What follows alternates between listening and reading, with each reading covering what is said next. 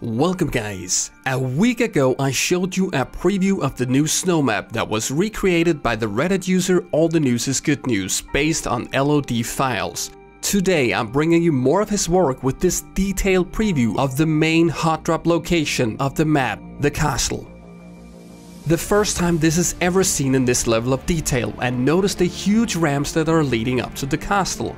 Perhaps a place for vehicles to spawn for a quick getaway, or maybe an easy way to enter at a high speed later in the game. Imagine entering the castle from this lower gate.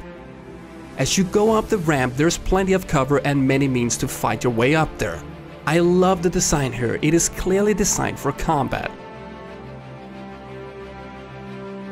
Now, entering one of the main castle structures, I'd imagine this is just one of the rooms that'll be stacked with loot. The crypt of the castle is accessible in at least three ways, and the towers are accessible in at least two ways. A beautiful spiral stairway connects to the upper level, and this is where the majority of the looting is likely to take place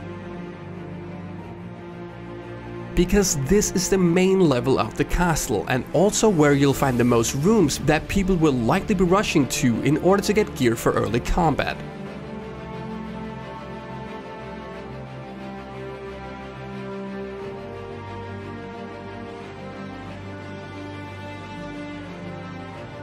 Crossing the courtyard seems like suicide, but if you do, you better rush to the middle for that quick cover. Your life will depend on it.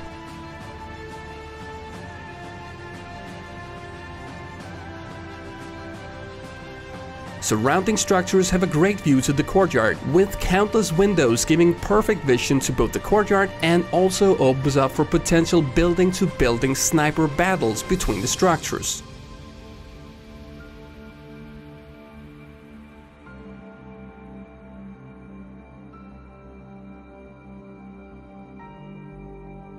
Just imagine standing up here with an M24 just looking for that perfect shot while being able to quickly dive into cover between them.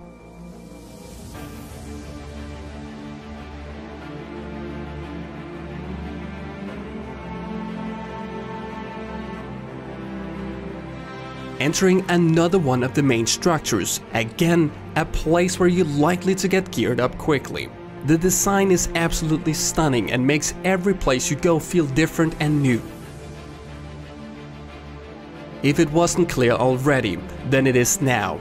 This is a place that has been carefully designed to give the best early game combat experience ever, and fights will probably continue all the way to the blue pushes people out. I can't wait to play this map, and this is where I'll go first. I hope you liked this video and if you did, don't forget to subscribe for more and I'll see you guys next time.